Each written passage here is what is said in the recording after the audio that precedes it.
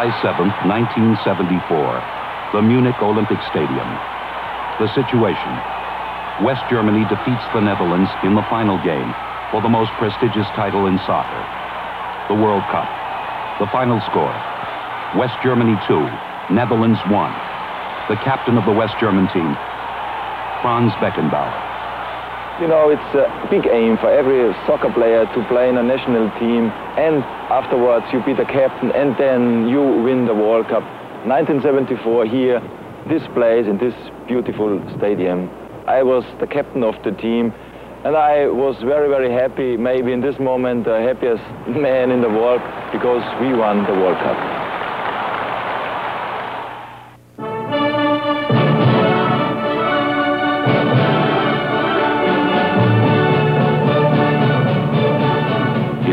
Country of the world, there is a legendary sports hero. Athletes whose exploits are revered from generation to generation. Men and women whose performances will live through the ages. Timeless, universal, immortal. They are numero uno.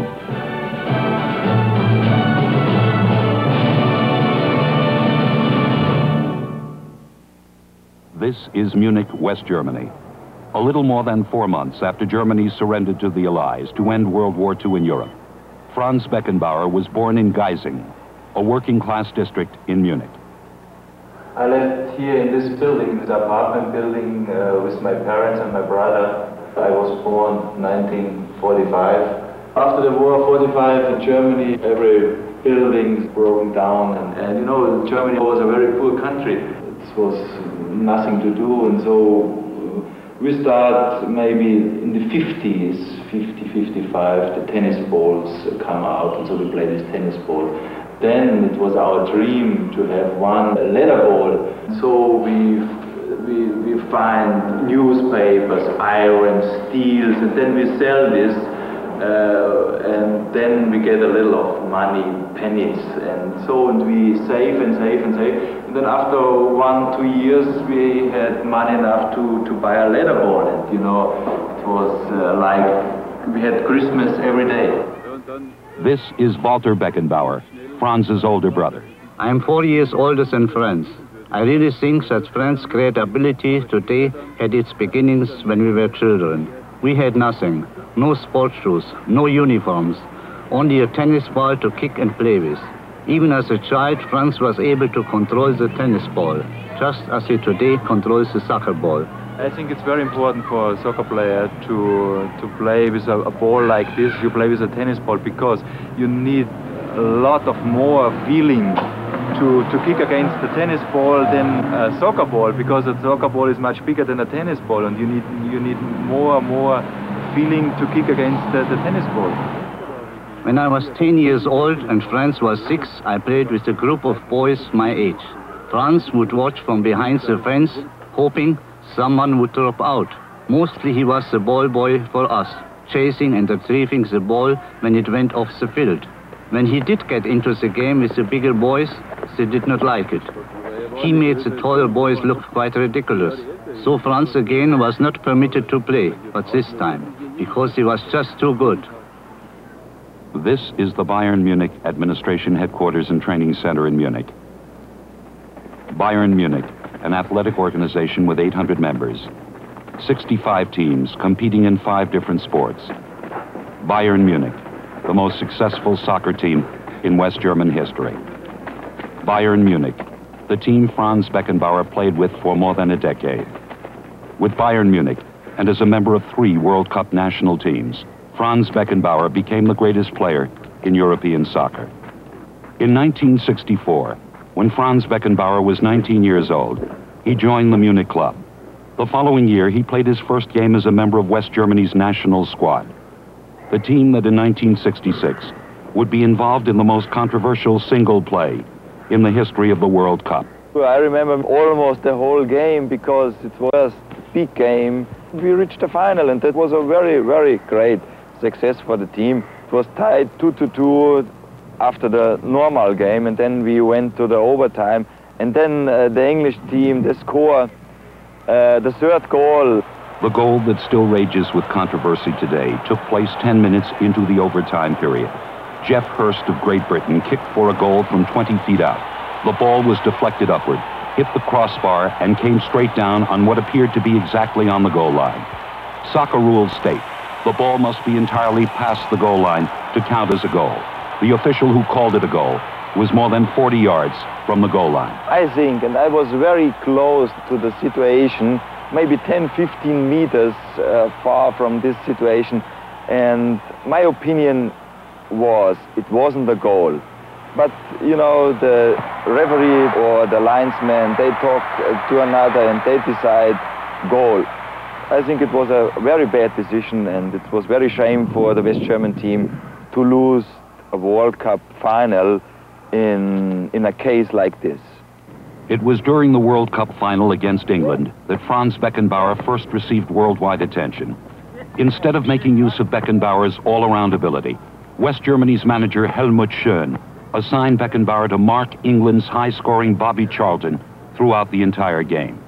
I had a very hard time during the World Cup final because I had to mark uh, Bobby Charlton, and Bobby Charlton was to this time one of the best players in the world, and his um, ability was, of course, to run 90 minutes, and he never stopped, and he ran and ran, and you know, uh, I don't know, you know, what does it mean as a young player for me, as a newcomer? I was 20 years old to follow a very experienced man and a, one of the best players in the world, Bobby Charlton. After the 1966 World Cup final, Franz Beckenbauer began to revolutionize the game. He was moved from midfield to sweeper, the last defensive player in front of the goalkeeper.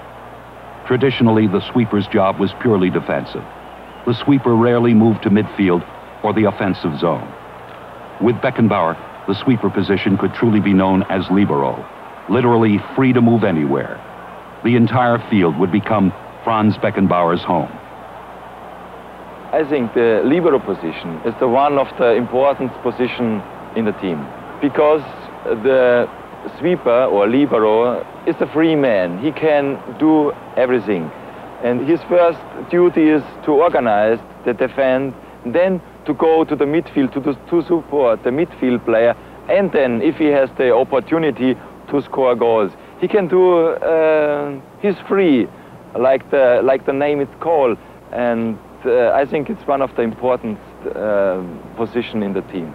Hugh McIlvanney, one of England's most respected columnists and soccer authorities, observed Beckenbauer's career from the beginning. A lot of men achieve greatness in football without ever being great strikers of the ball, but Beckenbauer was a magnificent striker. I mean, his right foot was the equivalent of a set of golf clubs. He could just do anything he wanted with the ball.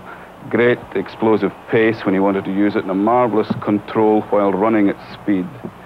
A great eye for the percentages. In fact, that is the theme that runs right through his career, is that he is perhaps the greatest calculator of the percentages on the field that I've seen. One of the most devastating elements in his game is the ability to decide exactly when to release the ball. He will allow opponents to come a certain distance towards him, and whenever they're in no man's land, he just hits the ball past them and they're dead men.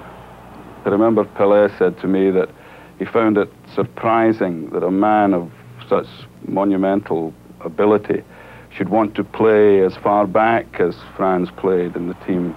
But he liked to start out at the back.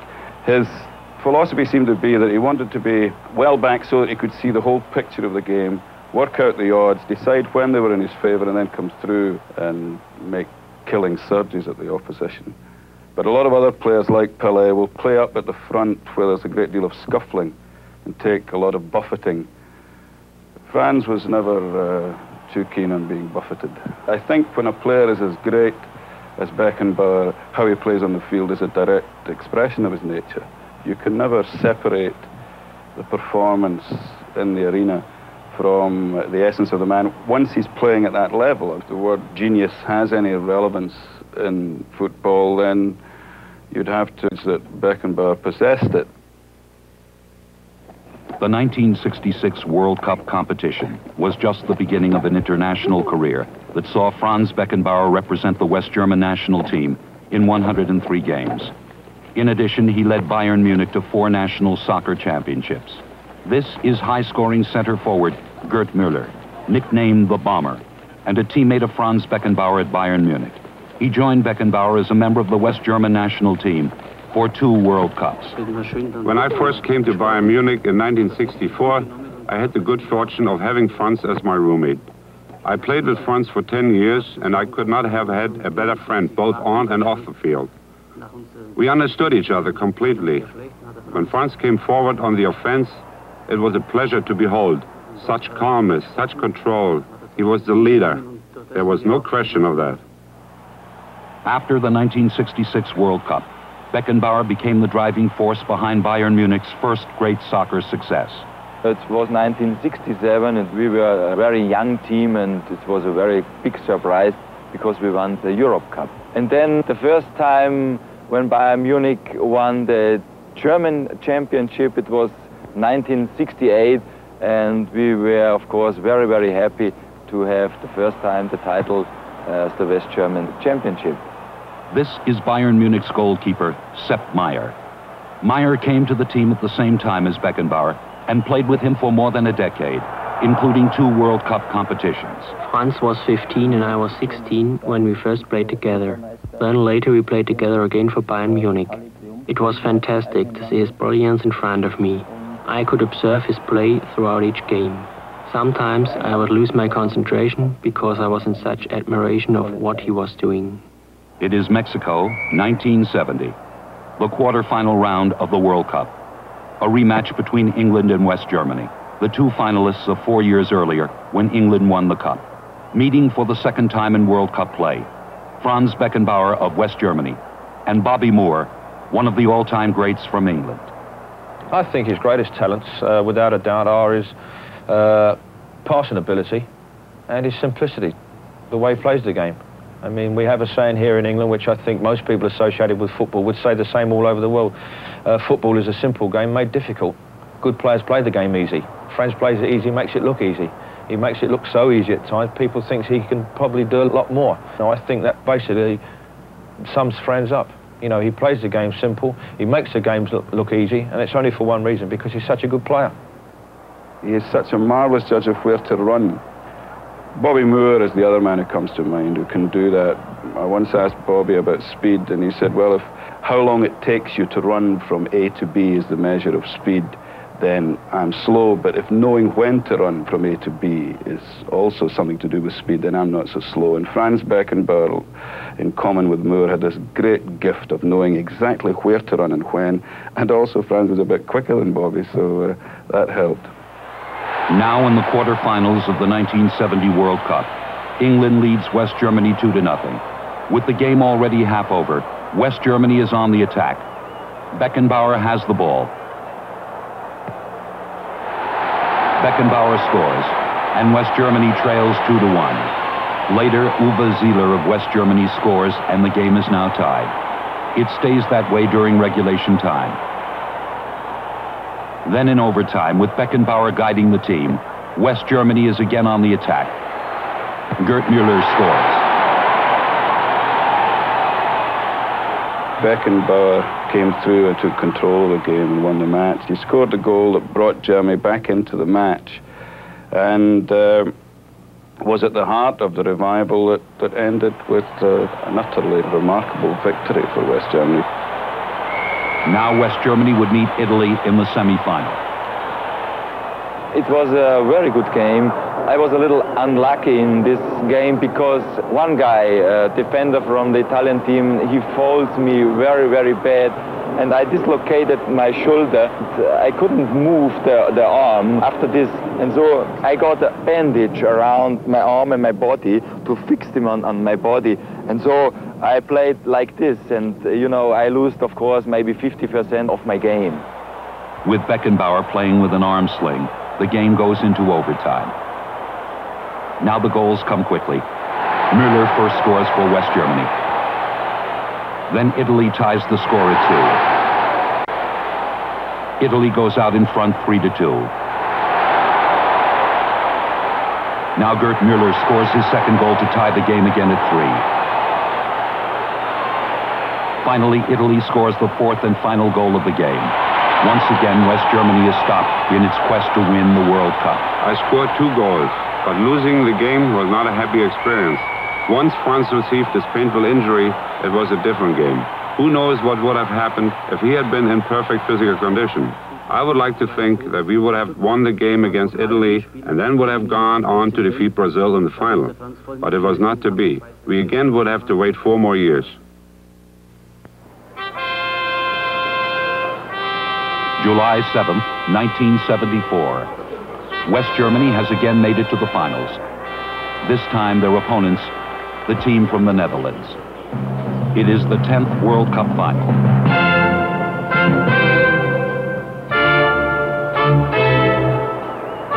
Eighty thousand people are at the stadium in Munich, the scene of the Olympic Games two years earlier.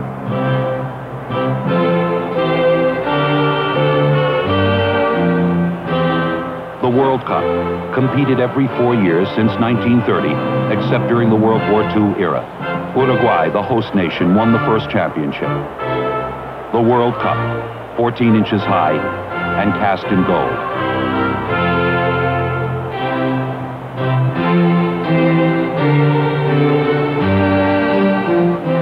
Three times the host nation has won the cup. Uruguay in 1930, Italy in 1934, and England in 1966. Here in Munich, West Germany will try to become the fourth host nation to win the Cup. Captain Franz Beckenbauer of West Germany and Captain Johan Cruyff of the Netherlands lead their teams onto the field. West Germany and the Netherlands have made it to the finals after a series of elimination contests extending over two and a half years and including 126 original countries. 16 countries made it to the final round. After a round-robin series, the Netherlands won its division with three straight victories, not giving up a single goal. West Germany also won three straight games, but gave up two goals to Sweden in their 4-2 victory. Representing West Germany, six members of the Bayern Munich team, including Franz Beckenbauer, Gerd Müller, and Sepp Maier. The game gets underway. After the first minute of play, the Netherlands is awarded a penalty shot when their great Johan Cruyff is tripped in the penalty area. Neeskens of the Netherlands takes the shot. After a little more than a minute of play, the Netherlands leads one to nothing.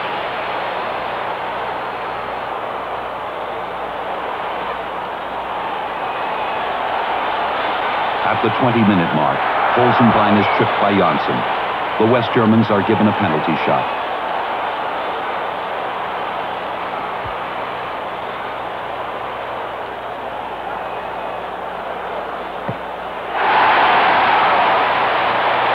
Breitner ties the score at one.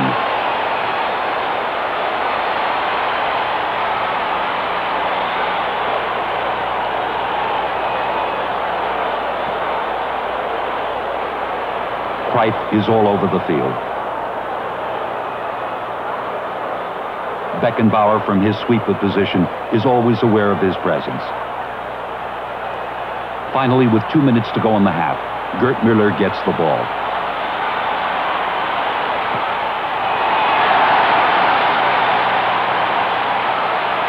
West Germany goes out in front, two to one.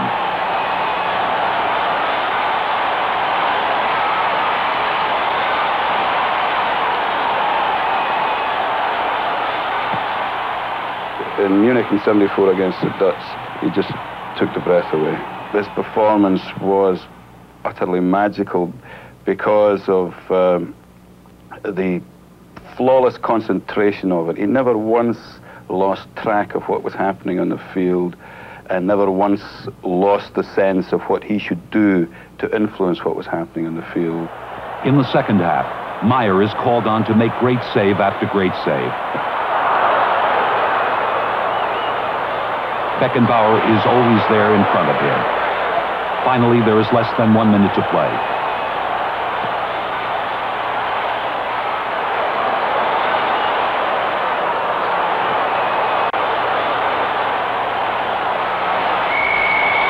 Final score, West Germany 2, the Netherlands 1.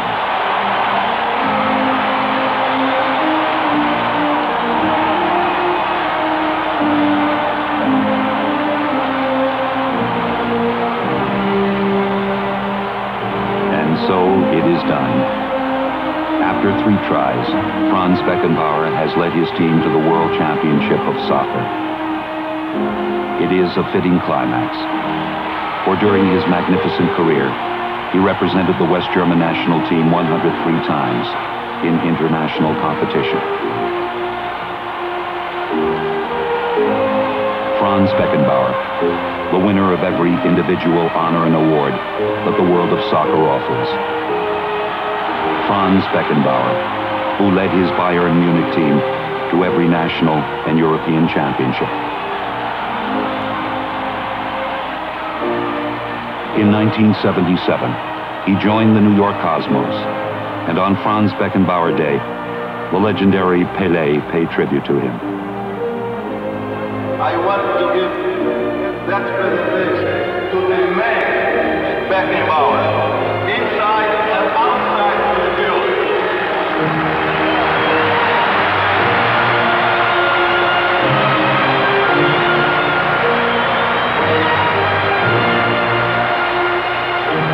would be one more dramatic moment for Franz Beckenbauer.